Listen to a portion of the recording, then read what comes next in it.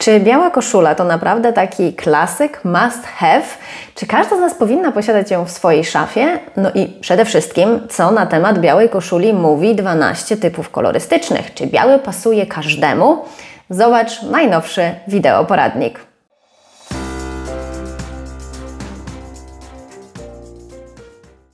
Wiele poradników mówi, że biała koszula to must have w każdej szafie. Cóż, ja z must to w ogóle, takimi ogólnymi i dla wszystkich, to e, nie bardzo się zgadzam. Oczywiście wierzę w rzeczy, które powinnyśmy mieć w swojej szafie, natomiast myślę, że one są bardzo indywidualne. To znaczy, że inne must będą dla mnie, inne must będą dla Ciebie. Więc czy każda z nas powinna e, posiadać białą koszulę? Mm, niekoniecznie. Ale z drugiej strony biała koszula to nie tylko ta wersja taka garniturowa, garsonkowa, zapięta na ostatni guzik, taliowana, dopasowana, bo przecież biała koszula może być naprawdę w wielu wariacjach. Bardzo nonszalanckich, bardzo oversize'owych, takich nawet jakby pożyczonych z męskiej szafy. Więc biała koszula daje nam naprawdę ogrom, ogrom możliwości, jeżeli chodzi o stylizowanie. E, dlatego też jest taka popularna, ponieważ daje nam wiele opcji.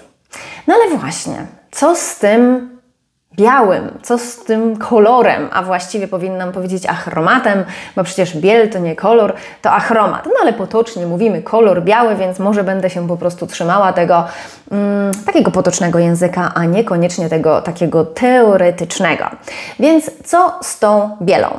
W ostatnich tygodniach e, było e, tutaj na moim blogu bardzo dużo takich różnych poradników, jak łączyć panterkę z kolorami, jak e, dołożyć do swojej szafy Peach Fuzz. Było o trendach kolorystycznych, było o najmodniejszych połączeniach kolorystycznych, a dzisiaj chciałabym wrócić właśnie do klasyki, czyli do bieli, ponieważ biały jest jednym z takich uniwersalnych kolorów. Mm, uniwersalnych, to znaczy bardzo plastycznych, to znaczy, że pasuje do każdego innego koloru, więc jest bardzo bezpieczne i właściwie z kolorów tych uniwersalnych, a zaliczamy do nich właśnie odcienie bieli, czerni, szarości, granat, beż i taki ciemny brąz w odcieniu kawy czy gorzkiej czekolady. Więc z tych wszystkich kolorów biały tak naprawdę jest najbardziej bezpiecznym.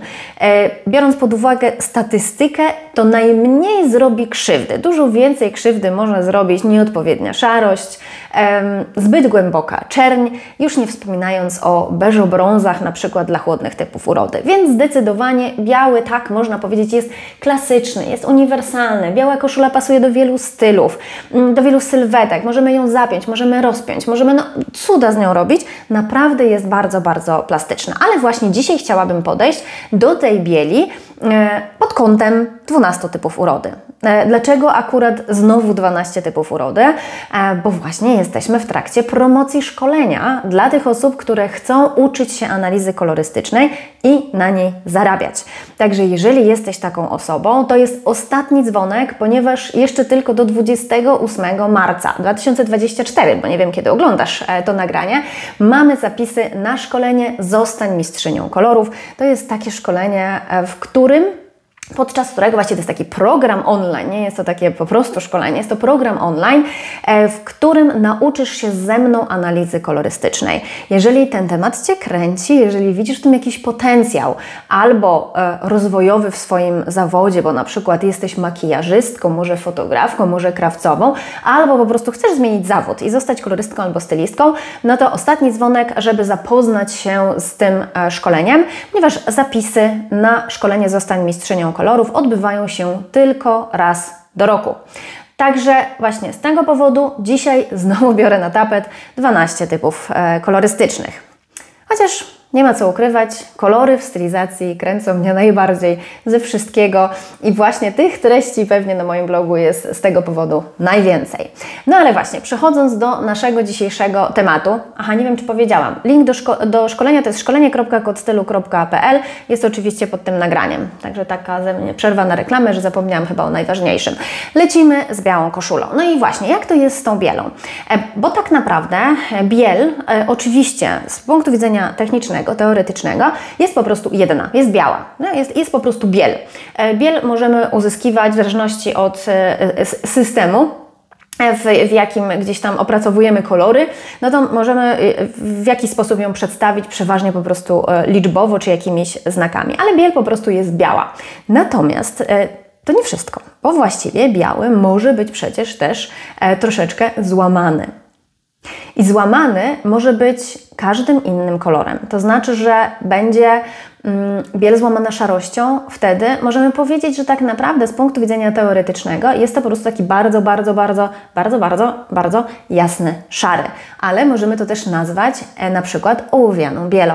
Biel może być złamany żółcią i wtedy będziemy mieć, jeżeli będzie mało tej żółci, to będziemy mieć biele mleczne, śmietankowe. Jeżeli będzie jej więcej, to będzie to może biel migdałowa, później kremowa, ekri, czyli tam, gdzie będziemy widzieć już e, przejście takie do takiej większej ilości żółci, żółci albo wręcz nawet beżu, no bo écrit to przecież z francuskiego surowy e, i oznacza surowy odcień lnu, znaczy odcień surowego lnu. Więc e, Odcieni bieli może być bardzo dużo. Tak naprawdę możemy mieć niebieskawią biel, taką śnieżną, taką bardzo rażącą że tak powiem, dającą po oczach, czyli taką jak widzimy zimą podczas słonecznego dnia, gdy niebieskie niebo odbija się w śniegu, no i mamy taką właśnie śnieżną biel. Ale może być też różana biel, gdzie mamy tak odrobinkę mm, różu. W, e, słyszałam ostatnio taki piękny e, piękną nazwę koloru lukier. A lukier, no to właśnie taka, można by było powiedzieć, taka cukierkowa, taka, taka, taka cukierkowa biel, czyli z odrobiną e, różu w środku. Możemy mieć odcień bieli fioletowawej, fioletowej chyba powinnam powiedzieć. E, w każdym razie tak naprawdę każdy kolor możemy dołożyć do bieli i nazwać to jakąś tam e, bielą. Czyli tak naprawdę mamy biel czystą i mamy biele złamane. I teraz najczęściej oczywiście spotykamy te biele, które są złamane żółcią, czyli właśnie te kremowe, śmietankowe, ekri, migdałowe, waniliowe, no pięknie możemy je nazywać. E, I najprostszym, najprostszą rzeczą, którą możesz o bieli e, zapamiętać jest to, jest to, że te złamane żółcią będą po prostu ciepłą bielą, a te, które nie będą w żaden sposób um, z, zmącone tą żółcią, nie będą tą ciepłą bielą, będą klasyczną bielą, więc dla naszego oka chłodniejszą od tej złamanej żółcią. Tak? Ona nie, biel, biel sama w sobie nie ma temperatury. Natomiast dla naszego oka, jak mamy kremową biel i zwykłą biel, no to ta zwykła biel wydaje się po prostu być chłodniejsza. Oczywiście możemy na szali położyć tą śnieżną biel, czyli tą niebieskawą, więc ona będzie chłodna ta e, kremowa, śmietankowa, mleczna będzie ciepła, no a po środku będzie ta neutralna, czyli po prostu biała. No i teraz biały jest kolorem, który jest bardzo świetlisty, bardzo taki mm, przyciągający wzrok. E, biały powiększa, eksponuje. Potocznie często się niestety mówi, że pogrubia, natomiast ja nie bardzo lubię to, e, to słowo, bo ono jest takie pejoratywne. Po prostu mówmy, że eksponuje i powiększa, bo czasami chcemy tego eksponowania i powiększania z jakiegoś powodu, albo inaczej, może niekoniecznie chcemy, ale ono nie musi nam przeszkadzać.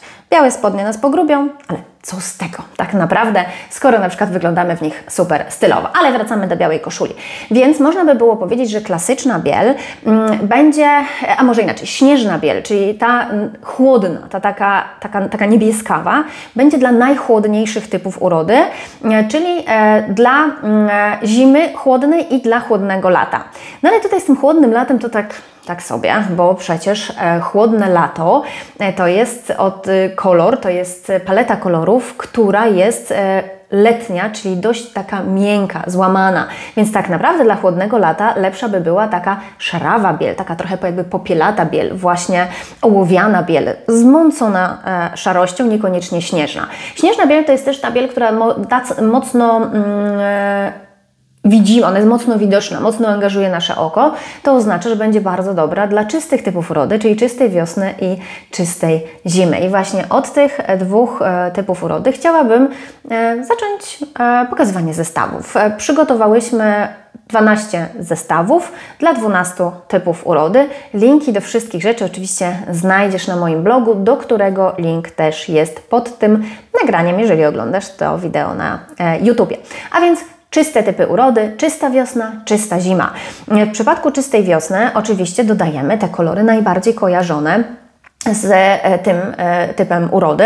E, no i mamy tutaj intensywny pomarańczowy, czerwony, żółty w postaci przepięknej apaszki, a całość jest total lookiem białym. Jeżeli oglądałaś poprzednie wideo poradniki, to wiesz, że total looki w bieli są super, super modne. No i czerwone buty to też jest coś, co jest teraz super modne, więc wykorzystujemy trendy i dorzucamy do e, wiosny. Następnie mamy czystą zimę. Czysta zima kocha połączenie bieli z czernią. To jest taki zestaw, który e, jest najbardziej kontrastowym ze wszystkich zestawień, które możemy stworzyć. Biały plus czarny, czyli totalne światło i totalny brak światła. I to jest zestaw, w którym tak naprawdę na takich dużych powierzchniach dobrze wygląda tylko czysta zima. W tych mniejszych, jak na przykład pepitka, drobna kratka, no to już większość z nas będzie dobrze wyglądała, ale na dużych powierzchniach, czyli na przykład biała koszula, czarne spodnie, to najlepsze będzie rozwiązanie dla czystej zimy. Kolejne e, dwa e, typy urody, które przygotowałam, to jasne lato i jasna wiosna. E, I e, Tutaj oczywiście również możemy wykorzystać białą biel, czyli tą klasyczną biel, ponieważ jasne lato i jasna wiosna to są te typy urody, które bardzo dobrze wyglądają w y, najjaśniejszych zestawieniach, więc mm, intensywność tej bieli nie będzie tak bardzo przeszkadzała, dopóki nie będzie to ta śnieżna biel, czyli właśnie klasyczna, e, po prostu biała biel. I kolory odpowiednie dla tych typów urody. Wiosna bardzo lubi, jasna wiosna bardzo lubi beżowy, bardzo lubi zielenie, więc tutaj właśnie uzupełnienie o te kolory, złota biżuteria, u jasnego lata totalnie na odwrót, czyli odwrotność temperaturowa, srebro plus niebieski. Także takie zestawienia. Kolejne dwa, które możesz teraz zobaczyć, to właśnie chłodne lato i chłodna zima. Tutaj możemy jak najbardziej oprzeć się o również klasyczną e, białą koszulę. W obu przypadkach zdecydowałyśmy się na niebieski, przy czym ten zimowy czy będzie, oczywiście będzie ostrzejszy, intensywniejszy, a letni będzie jaśniejszy, delikatniejszy, oparty tutaj o taki bardzo jasny denim. Kolejne dwa typy urody to dwa ciemne typy urody i mm, biały dla nich właśnie. No i są osoby, które mówią, że ciemnej jesieni i ciemnej zimie biały właściwie w ogóle nie pasuje, oczywiście przy twarzy. No i tutaj można dyskutować, ponieważ e, tak, taka teoria gdzieś jest powtarzana, natomiast zdarzają się, szczególnie właśnie w naszym kraju, ciemne jesienie i ciemne zimy, które nie mają takiego typowo południowego wyglądu, czyli takiego wyglądu, który mm, jest taki śniady, można by było powiedzieć. E, I u tych osób zdarzają się jaśniejsze karnacje, które czasami nawet tak bardzo się nie opalają. Czyli z jednej strony mamy ciemną jesień albo ciemną zimę, czyli osobie, której pasują ciemne palety, ale sama w sobie nie ma tak dużo tego, tych ciemnych pigmentów. I tym osobom, czyli tym jaśni, jaśniejszo skórym, e, ciemnym jesienią i ciemnym zimą, ta biel będzie pasowała. E, I tutaj również propozycja e, dla dla nich. Ciemna zima to e, biel klasyczna, ciemna jesień tutaj już łamiemy tą biel, żeby ona była troszeczkę łagodniejsza. Ze względu na to, że ciemna jesień nie tylko e, jest ciemna, ale jeszcze właśnie lubi e, kolory cieplejsze i bardziej takie cięższe, zgaszone.